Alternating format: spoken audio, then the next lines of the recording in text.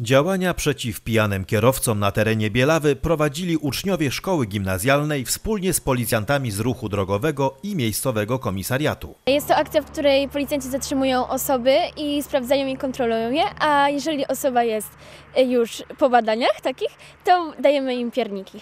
Dlaczego włączyłyście się w tą akcję? Ponieważ chcieliśmy pomóc policji, która walczy z nietrzeźwymi osobami. Ja tutaj widzę koszek z piernikami.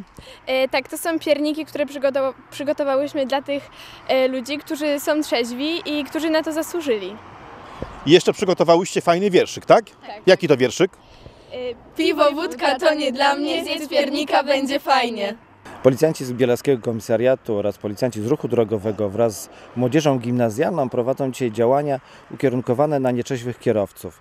Te działania są związane z kampanią prowadzoną przeciw nieczeźwym kierowcom.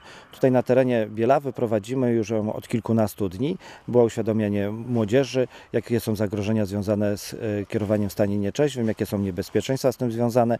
A w dniu dzisiejszym prowadzimy działania, e, gdzie zatrzymujemy kierowców. Każdy kierowca, który przejdzie pozytywnie e, badanie na stan trzeźwości, otrzymuje od młodzieży upominki. Są to e, ciastka z napisem dziękuję, ulotki związane z tą kampanią oraz balon na, na, na, na pociechę.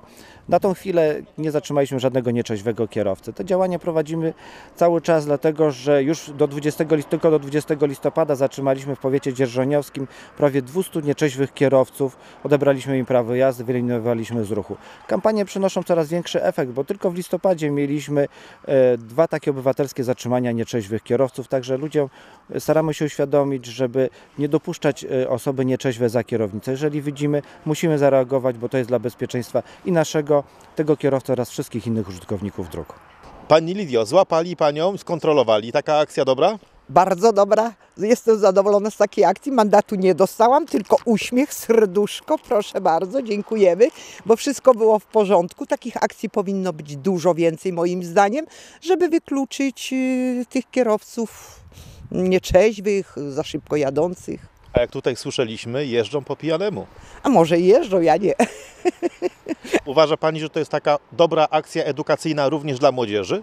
Uważam, że jest bardzo dobra i powinno być takich akcji więcej. Wydaje mi się, że no, trzeba uświadamiać ludzi, że nie powinni e, pić alkoholu i na drugi dzień jeździć samochodem. Nie? Tak. A często tak się zdarza, że jednak ludzie na takim kacu jeżdżą rano.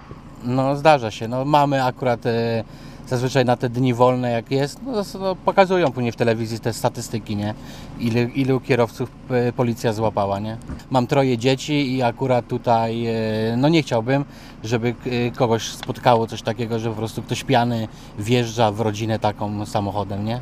Realizowane przedsięwzięcia niewątpliwie były wyśmienitą okazją do edukacji kierowców w zakresie przestrzegania przepisów ruchu drogowego oraz budowania wśród młodzieży i dorosłych sprzeciwu wobec akceptacji prowadzenia samochodu po alkoholu.